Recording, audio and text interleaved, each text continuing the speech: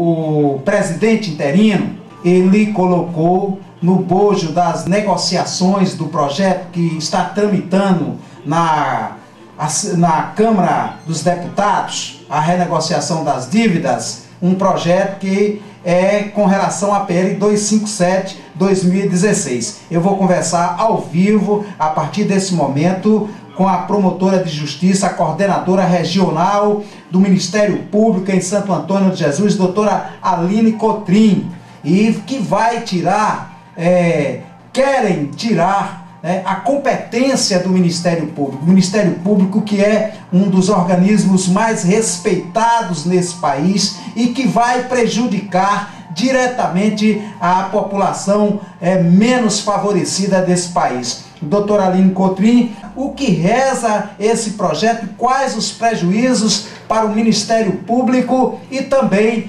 para as pessoas de baixa renda desse país que precisam diretamente do Ministério Público. Não é a primeira vez, Gildas, que o Ministério Público tem sido vítima de ataques né, do Congresso Nacional. A gente lembra, uns dois anos atrás, que tivemos a PEC 37, que queria retirar o poder de investigação do Ministério Público. E agora, novamente, né, temos um projeto de lei que vai ser é, vai ter consequências catastróficas para o Ministério Público. É o projeto de lei, como você mesmo disse, 257 de 2016. E por quê? Primeiro eu vou explicar o que traz o projeto, depois eu vou explicar as consequências que esse projeto vai trazer no Ministério Público. Tá? Esse projeto, inicialmente, ele tem por objeto a renegociação da dívida dos estados com a União. Só que no bojo desse projeto, além desse, desse tópico, também foi trazida a alteração à lei de responsabilidade fiscal. A lei de responsabilidade fiscal é uma lei muito importante porque ela traz os limites que podem ser gastos por determinados pelos estados, é, pelo, pelo Ministério Público, pelo Judiciário, pela Defensoria Pública, é, os diversos gastos, inclusive trazendo limites em relação a gastos de pessoal. E o que é que, o que, é que esse projeto 257 trouxe? O que é que ele alterou a lei de responsabilidade fiscal? Ele incluiu nos gastos de pessoal outras despesas que não constavam anteriormente, como despesas, despesas com terceirizados, é, pagamentos de inativos, que antes estavam fora desse limite com o pessoal e agora estão incluídos. E qual é a consequência disso? Hoje o Ministério Público tem um limite máximo de gasto com pessoal de, de 2% da renda do Estado e um limite prudencial, que é o que deve ser observado, de 1,90%. E ele gasta efetivamente 1,56%. Hoje, da forma como está esse projeto de lei, o Ministério Público sem gastar, absoluta, sem ter nenhuma despesa a mais, ele já estaria ultrapassando esse limite com o índice 2,36% do gasto. E como o Ministério Público é, cumpre a lei, ele teria que se adequar a esse novo limite que foi imposto por esse projeto é, 257 de 2016. E qual é a preocupação? É que a gente fala de números e com uma, uma abordagem bastante abstrata, né, para o ouvinte poder entender. Então eu vou trazer aqui a, a, realidade, as consequências reais disso no Ministério Público. Como estamos? Com, se passar esse projeto de lei, que a votação é segunda-feira é, na Câmara, já estaríamos com o limite de 2,36. Então estaríamos 0,36% além do limite que, que é o máximo estabelecido. Então, obviamente teríamos que demitir.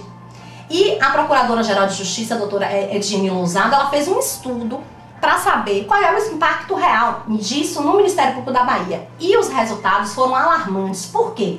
Porque na situação atual, o Ministério Público teria que demitir 236 cargos comissionados, 173 servidores em estágio probatório, 42 promotores substitutos que é recém-ingressos agora no concurso de, desse ano, e 751 servidores em cargo estável.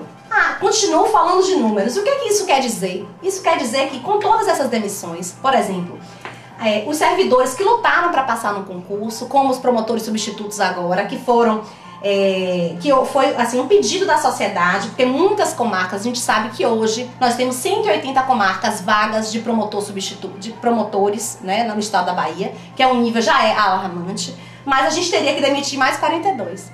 E quem é que paga a conta? A sociedade.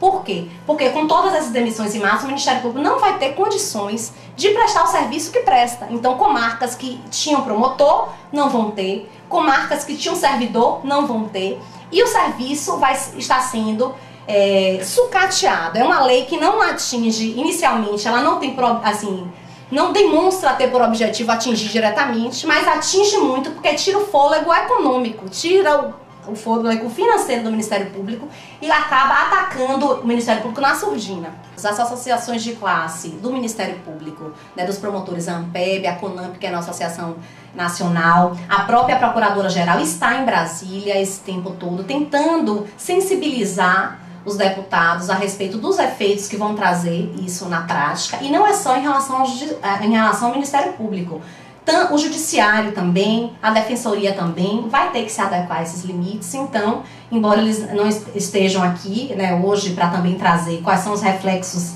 é, nessas instituições, com certeza vão ter que demitir pessoal para se adequar. Então, assim, é, estamos muito preocupados né? Não gostaríamos de deixar de prestar um serviço de excelência para a população. Já nos sentimos bastante preocupados com a situação atual, que já existem comarcas vagas, já é uma preocupação do Ministério Público. Eu, como coordenadora da regional, sei que algumas cidades aqui vão ser diretamente atingidas, porque nós temos promotor substituto aqui em Santa Inês, temos em Sapiaçu, temos em Laje, e essas cidades vão ficar sem ser atendidas novamente pelo promotor. Depois de uma luta tão grande dessa coordenação, no sentido de sensibilizar a procuradora-geral, no sentido que são comarcas grandes que precisam de promotor, elas vão ficar novamente desprovidas de promotor é. e de servidores, né? Então, é, a sociedade vai ter muita dificuldade né, de ter o serviço que o Ministério Público tem prestado. Então, eu preciso, o, assim, a vinda do Ministério Público hoje é, no sentido de chamar, a, alertar a sociedade e fazer com que ela fique informadas de que precisam apoiar novamente, precisamos de ajuda novamente,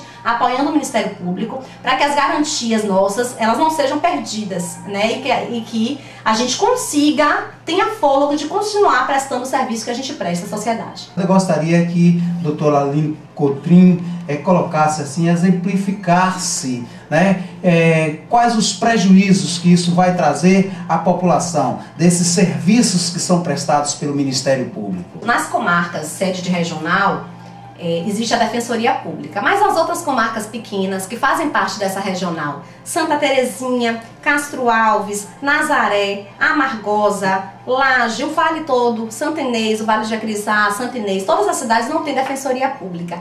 E o Ministério Público muitas vezes atende essa população e faz às vezes da Defensoria.